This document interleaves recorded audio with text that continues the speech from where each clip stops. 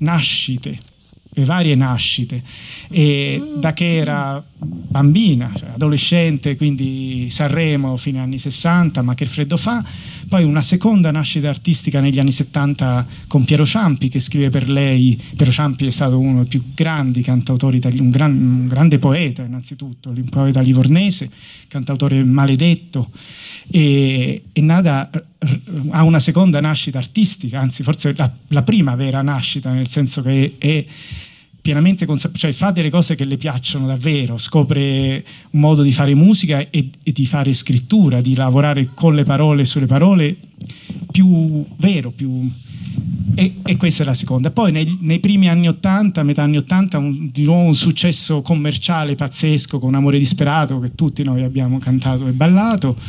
e poi dagli anni 90 un'ulteriore rinascita musicale e, Nada è veramente una sorta di. Ma quante ne ho fatte? Hai visto? Di regina del rock indipendente italiano e, e, non solo italiano, ha collaborato con artisti straordinari, produttori eh, come John Parrish, cioè il produttore di PJ Harvey, e con tutti tutti i migliori musicisti della scena indipendente italiana, a partire da CCCP fino agli Zen Circus più recentemente, adesso in tour con Toys Orchestra, e poi c'è un'ulteriore nascita che è quella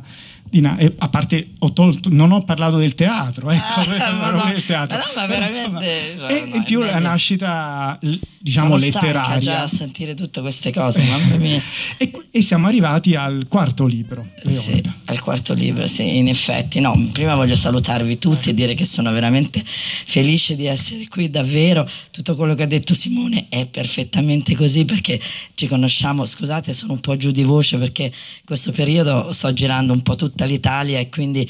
sono in tour e quindi le aree condizionate, il freddo, il caldo, in più un po' di fatica, insomma io non ho mai problemi con la voce, lo dicevamo ieri in macchina e, e stamattina mi sono svegliata così, però vabbè un po' no, è anche particolare, potrà incidere subito un pezzo così, così. Eh, no, eh, dicevo tutto quello che lui ha detto di Pennabilli, di cose, ne abbiamo parlato in questi anni tante volte quando ci incontravamo, anche perché Pennabilli ha questo nome un po' particolare che incuriosisce, no? eh, fa immaginare un paese, non so, di cowboy, di, di, di, di indiani, di, rock, di musica, una cosa così. E, e, e, quindi io passavo sempre da sotto, dicevo prima o poi ci vado, prima o poi, poi c'era sempre qualcosa, eravamo in ritardo, dovevamo raggiungere un altro posto e quindi mi fermavo sempre a un forno che c'è qua nell'angolo che voi conoscerete, prendevo il pane o, o, o il ciambellone e tornavo a casa. Poi vabbè, con Simone eh, nel tempo, insomma, lui mi raccontava che veniva a passare l'estate, veniva a trovare i suoi, i suoi genitori qua e, e, adesso niente, è uscito questo libro per Simone che è la sua nuova casa. Adesso lui ha raccontato un po' la mia storia, io racconto un po' anche la sua. Allora, innanzitutto, innanzitutto noi, se io scrivo e se è un bene o un male, questo non lo so, dovete dirlo voi, eh, diciamo che è merito, l'ho già detto, ma qui merita dire dirlo perché l'ho detto tante volte, ma voi non lo sapete. Se io scrivo è merito di Simone, perché io probabilmente era una cosa che desideravo farla, l'ho capito, che avevo dentro, ma siccome appunto la mia storia, come ha raccontato lui, è un po' strana, ho cominciato da piccolo, ho fatto tante cose, al di là della mia volontà, mi sta tornando la voce, vedi? E lo zenzero, al di là della volontà, al di là delle cose che uno si trova nella vita e non sai neanche perché, insomma, una cosa la fai perché la devi fare, una perché ti piace, una perché ti arriva, insomma, la vita è un po' anche così. E insomma, ehm, eh, Simone eh, un giorno mi ha invitato eh, a, a, leggere un autore che lui, insomma, dove lavorava nella sua casa editrice, che era, si può dire, no? La Fazzi, la Fazzi eh, a leggere questo autore, che era un autore stranissimo, americano, insomma, in un festival molto importante a Roma.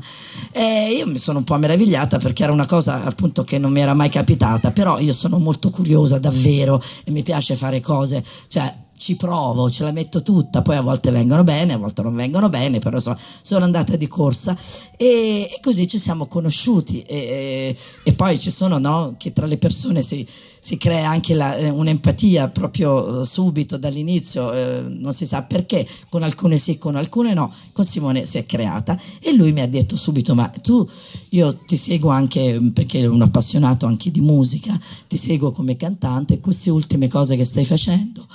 eh, io avevo cominciato a scrivere le mie canzoni, i miei dischi, i miei testi dopo l'incontro con Ciampi, ma quella è anche un'altra storia che se no uh, c'è la partita troppo e insomma eh, dice mi piacerebbe che tu scrivessi qualcosa perché penso che dietro queste cose che scrivi io credo che ci sia dell'altro che tu hai qualcosa di altro da dire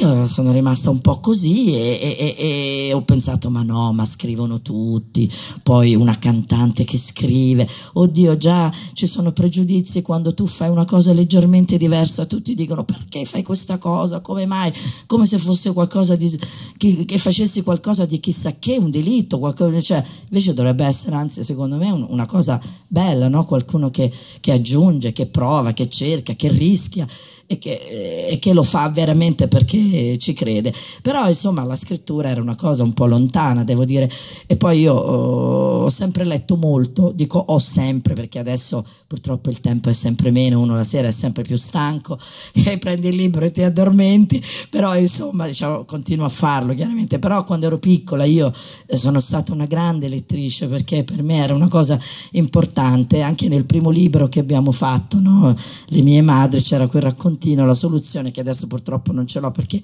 lì vi avrebbe dato proprio l'idea eh, di come io appunto ho sempre avuto questa passione della scrittura e della lettura. Eh, e allora insomma ci ho pensato un po', poi ci siamo risentiti e alla fine gli ho detto guarda io ci provo perché sentivo qualcosa che lui proprio lo sentiva veramente ed era una cosa detta da una persona che che sentivo che, che, che, sapeva quello che stava dicendo, non era eh, il solito che incontra una persona così conosciuta, diciamo, come me, che faccio appunto la cantante, che gli dice facciamo questa cosa così, sfruttiamo il fatto che già ti conoscono, per cui no, queste cose che io ho sempre odiato, che mi sono sempre trovata intorno e che non ho mai, ho sempre allontanato. Questo mi sentivo che non era, che non veniva da quella cosa lì. E allora un giorno, se ti ricordi, ti ho detto Simone, guarda, io ci provo, però comincia a scrivere, però devi essere d'accordo con me se tu capisci che è una cosa che proprio non sta né in cielo né in terra e che anch'io sento, perché lo sento anch'io, però così basta, come non fatto, no? E così io ho cominciato a scrivere. Ho cominciato a scrivere, è stata una cosa meravigliosa. Io scrivevo, scrivevo. Beh, mi ricordo abitavo a Roma in quel periodo, avevo un piccolo tavolino in un angolo di questa, di questa salotto che avevo e stavo sempre lì e la mia mamma, allora c'avevo ancora la mia mamma, mi diceva ma che stai facendo? Ma insomma, ma, ma, ma vai a cantare? Io scrivevo, scrivevo, ma mi era venuta proprio questa cosa, perché sentivo che veramente mi venivano cose che, che mi sembravano giuste, che mi sembravano che avessero un senso. E così poi quando ho avuto tutti questi fogli scritti, questi tanti racconti, ci siamo incontrati, giustamente lui ne ha tolti un po', perché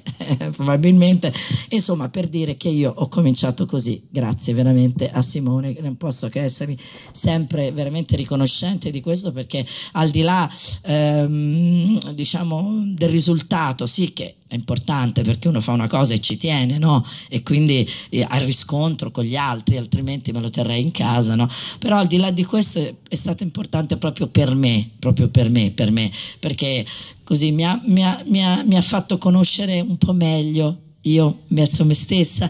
e, poi insomma ho scoperto la bellezza di, di, ritrovare tante cose scrivendo, ti vengono alla mente tante cose che hai visto, che hai vissuto, che, che non che non ti ricordavi più, che non pensavi più e che mettendoti lì a scrivere eh, eh, eh riesci a, ve a, vederla in un altro modo, no? hai un momento di riflessione che è diversa dal, dal ricordo veloce o dal parlare o, o, dal leggere una cosa e poi ne fai un'altra e poi ne fai un'altra. No? Invece scrivere ti costringe no? a stare lì con questa pagina e con te stessa e quindi ogni cosa, cioè veramente ti si ti si presenta in un modo che va al di là di quello che pensavi, no? E ne scopri sempre un altro, sempre un altro. E quindi, diciamo, per me è stata veramente una, una, una bella scoperta, anzi direi, non voglio così dire grande scoperta, che sembra una cosa, però davvero, davvero, davvero è così. E quindi eh, ho fatto il primo libro che erano... Um, eh, racconti, piccoli racconti così come mi aveva consigliato Simone e poi c'erano del, diciamo, mm, delle riflessioni, delle Poesie. Poesie, poesie, poesie, Poi ho fatto un altro libro che è Il mio cuore umano, che era, però era, sì, diciamo un romanzo, però raccontava un po' diciamo quello che era la mia infanzia, ecco come, come, mi racconti tu qua di Penabili, come io posso immaginare in un paese così le storie, eh, perché anch'io sono nata in un paesino vicino Livorno dove insomma poi nei paesi le storie, i luoghi sono diversi, ma poi le storie poi insomma son, hanno una radice comune, no? la piccola comunità, l'amicizia, la solidarietà, insomma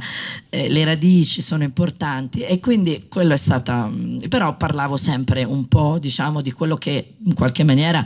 mi apparteneva poi ho fatto la grande casa, lì è stato un altro piccolo salto con, con questa storia che comunque dentro c'era sempre un po', uh, un po', di me, perché in questa grande casa, adesso non vi sto a raccontare la storia di quel, di quel romanzo, però diciamo in questa grande casa era un luogo dove, dove eh, arrivavano persone diciamo, che avevano bisogno di un po' di curarsi l'anima. E quindi in questo luogo io eh, ci avevo fatto arrivare una cantante e quindi in qualche maniera un po' di me gli avevo dato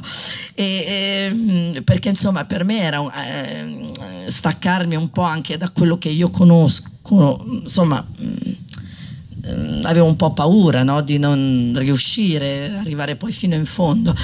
mentre con questo libro qui invece veramente è, è, stata come diciamo una scommessa anche con me stessa, no? ti ricordi quando all'inizio scrivevo che ne parlavamo, e perché è una storia che non, non mi appartiene, cioè eh, diciamo come si può dire inventata, una storia che, che, non è la mia, anche se chiaramente io poi scrivendola mm, in molte situazioni mi sono immedesimata, ma come, come sentimenti, come emozioni, ma non come, come storia proprio. E quindi per me è stato diciamo mm, come come dire, una, un prendere anche un pochino più fiducia, no? E un po' anche superare, ehm, diciamo, un po' quando vedi mm, che il pregiudizio che è un po' troppo, mm, che magari qualcuno dice, ah, ma tu scrivi, ma tu canti, così, eccetera. Allora, mm, scrivendo Leonida mi, mi sono sentita un po' più forte di affrontare anche, che capisco che è normale, tante volte può è capitato anche a me probabilmente, però insomma diciamo poi le cose, eh, io ho sempre pensato che poi le cose quando ci sono, esistono veramente, no? superano qualsiasi cosa, ci vuole un po' di tempo, bisogna avere pazienza, fiducia, tener duro. E poi se le cose ci sono in qualche maniera arrivano. E tutto questo per dire che appunto io ho scritto tutto cioè, tutti, per me sono tanti, questi quattro libri, appunto sempre avendo vicino Simone, col quale mi sono sempre confrontata, eh, consigliata, rapportata, cioè lui praticamente è, è, è, il mio editor, oltre poi in questo caso anche editore perché ha fatto, poi ne parlerai tu insomma meglio anche perché io fatico un po', adesso ti passo il, però diciamo che lui fino adesso e credo, e credo sempre, perché io poi quando trovo qualcuno